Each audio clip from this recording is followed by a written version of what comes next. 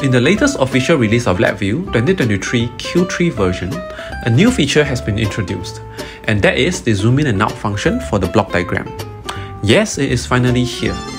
Use the Ctrl plus and Ctrl minus shortcut to zoom in and out.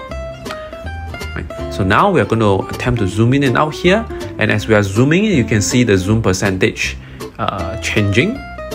Okay, and now we are going to zoom out. So these keyboard shortcuts were originally used to control the font size. So if you now want to control the font size, you should use another set of shortcuts which are actually shown here on the screen. If you want to control the zoom, alternatively, you can go to the view in the menu and access the zoom functions here as well. So do have a look at the latest version of LabVIEW and check back here for more LabVIEW tips in our next video.